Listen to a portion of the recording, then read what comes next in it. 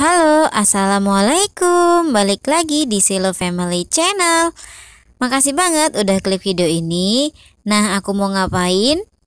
Penasaran gak? Ikutin terus video aku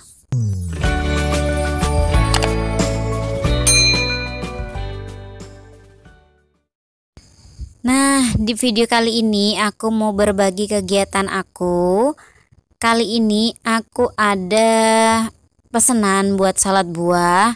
Nah, buat yang baru ngeklik video ini dan baru menemukan channel ini, makasih banget ya. Salam kenal dari aku Fani. Aku ibu rumah tangga, aku ibu pekerja. Uh, segitu aja.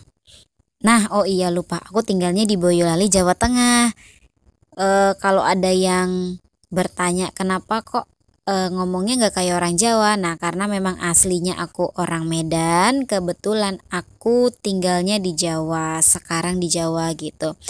Nah, kali ini aku mau berbagi kegiatan aku kebetulan dan alhamdulillah kegiatan aku setiap hari selain kerja aku juga terima pesanan salad buah kalau teman-teman yang sudah ngikutin channel aku pasti tahu usaha sampingan aku adalah salad buah.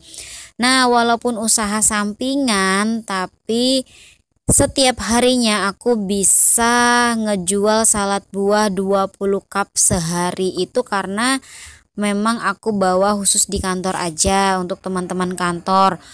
Kalau e, ngikutin orderan yang masuk biasanya bisa lebih dari 30 cup gitu. Tapi karena aku sambil kerja kalau hari biasa aku nggak bisa bikin sebanyak itu. Biasanya aku cuma terima ya 20 atau 30 aja lah maksimal. Tapi kalau di hari weekend insya Allah bisa gitu kan. Oh ya makasih banget ya udah klik video aku. Nah aku sedikit mau cerita tentang usaha salad buah aku. Nah awalnya usaha salad buah ini sampingan waktu di Tangerang. Tapi karena memang aku udah nggak kerja di uh, tempat aku lagi atau pabrik yang sebelumnya aku tempat kerja itu kan tutup. Jadinya ini bi ini waktu itu jadi usaha utama. Nah setelah itu karena memang aku pindah lagi ke Boyolali atau ke Jawa Tengah akhirnya aku kerja lagi di kantor kerja pabrik lagi dan ini jadi sampingan lagi. Doain ya teman-teman ya. Siapa tahu usaha ini bisa maju dan bisa berkembang terus bisa jadi usaha pokok aku. Karena aku berharap bisa hmm, apa ya buka usaha dan bisa menyerap tenaga kerja. Walaupun tenaga kerjanya itu orang-orang sekitar kita gitu sih. Nah cerita di balik salad buah ini kenapa sih kok aku milih usaha rumahan salad buah? Yang pertama karena memang aku suka makan salad buah. Nah, kedua, menurut aku jajanan satu ini sehat gitu ya. Jadi e, dari kalangan anak kecil, orang dewasa bahkan orang tua pun suka yang namanya buah gitu. Cuman e, banyak yang gak suka mayones biasanya waktu aku tawarin ke teman-teman aku karena memang uh, apa namanya salad buah kan identik dengan mayones. Biasanya mereka udah nolak duluan. Tapi karena memang dari mulut ke mulut marketingnya begitu uh, banyak yang nggak enak sama mayonesnya aku karena memang aku uh, racik sendiri jadi kalau ada teman-teman yang nonton video ini dan pengen tahu resepnya boleh DM di Instagram aku ya. Instagram aku ada di uh, opening video. Nanti komen aja, aku uh, pasti bales kok gitu kan. Uh, siapa tahu ada yang tertarik buat usaha salad buah, boleh banget aku kasih tahu karena memang kalau di video ini aku nggak tampilin uh, resepnya gitu kan. Karena setiap orang usaha uh, pasti punya kayak resep rahasia sendiri gitu kan. Jadi tapi kalau teman-teman ada yang tertarik boleh kok uh, nanti tinggal DM atau uh, komen aja ya di Instagram atau komen di video ini. Pasti aku bales.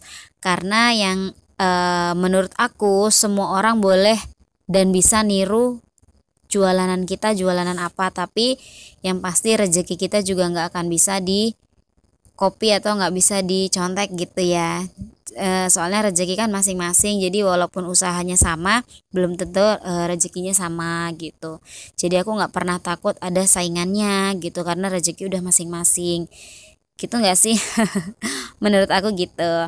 Nah e, kali ini aku dapat orderan itu 20 cup nah ini aku pulang kerja karena setiap harinya kenapa aku nggak pernah punya video ngevlog bersih-bersih atau beres-beres pulang kerja?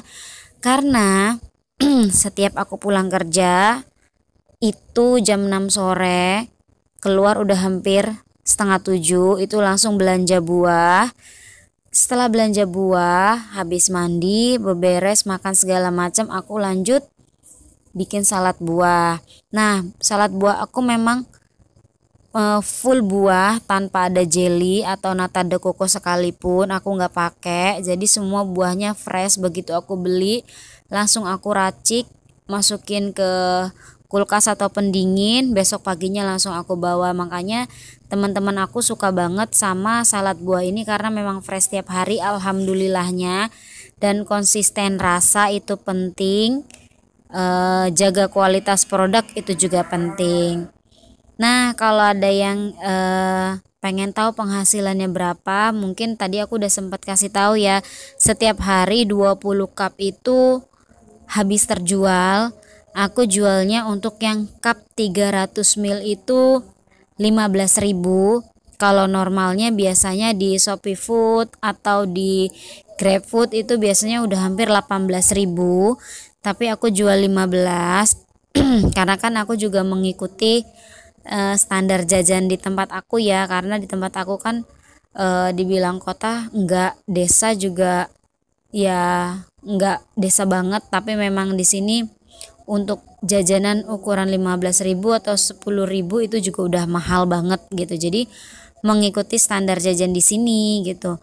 Nah, jadi untuk 15.000 ataupun 10.000 aja kali 20 cup. Dan itu setiap aku kerja dan setiap hari aku bawa. Teman-teman udah bisa dikaliin ya berapa gitu. Bahkan kadang kayaknya gaji bulanan aku sama usaha salad buah aku eh, 11-12 walaupun eh, hitungannya kalau untuk usaha masih hitungan kotor ya teman-teman ya Nah gimana? Ada yang tertarik nggak mau usaha salad buah? Kalau ada komen-komen aja ya. Pasti aku bales kok. Oke segitu dulu aja video aku. Makasih banyak udah nonton. Makasih banyak udah nyampe detik ini. See you next video. Bye bye Assalamualaikum